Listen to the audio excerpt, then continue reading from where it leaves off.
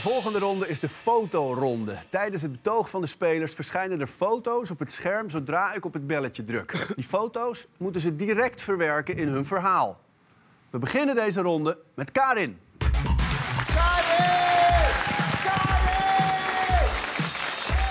Karin, jouw stelling. Een dictatuur is een goed idee.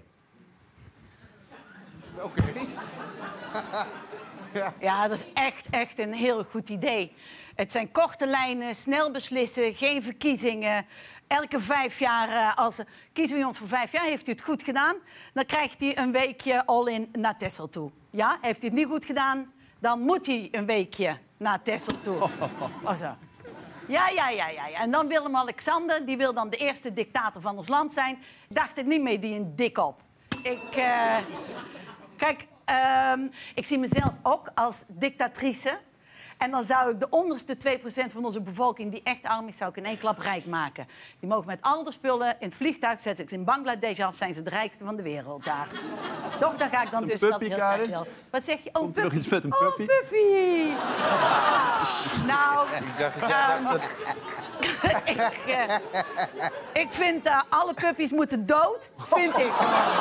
Ja, dat vind ik wel. Ja, ik ben de baas. En, ehm, en iedereen die daar tegen is, die gaat ook dood.